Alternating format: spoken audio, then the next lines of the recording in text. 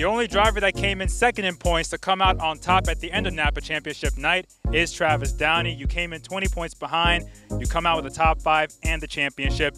Now you've had time to soak it in and breathe a bit. What does it mean for you to get this championship? This is pretty crazy. Um, we've worked so hard as a team. Everybody that helps me, all my sponsors that support me and stuff.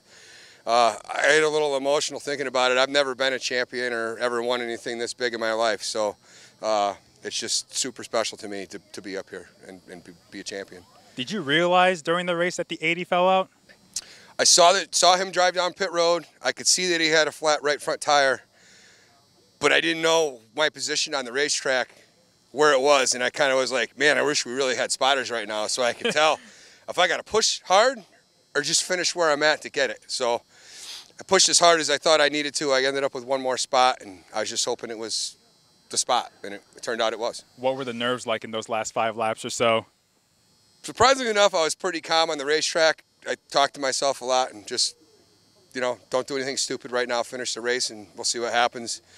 Once I pulled in and they told me I was the champion, that's when I got the emotions, and as everybody saw on TV. yes, we all saw it clearly. You got quite the fan club. I mean, we can hear them in the grandstands every Friday over the darn race cars themselves. What does it mean for you and the family and the team to come together in just your third year at Stafford Speedway to pull this off? It's just unbelievable that everybody and all the support that I get from my family and my friends, my sponsors, and everybody, it means the world to me to be standing here right now at Stafford having this interview with this car that was brand new at the beginning of the year.